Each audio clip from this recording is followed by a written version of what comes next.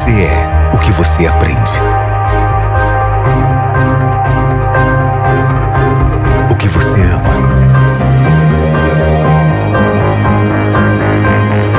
O que você pensa.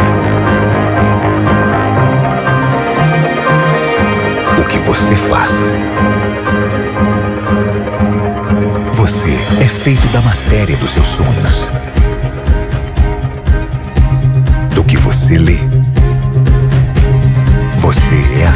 Personalidade quando ninguém está olhando. Você é aquilo em que acredita. Ou que deixou de acreditar.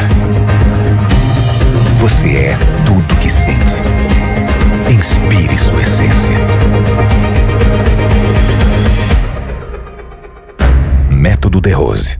Alta performance.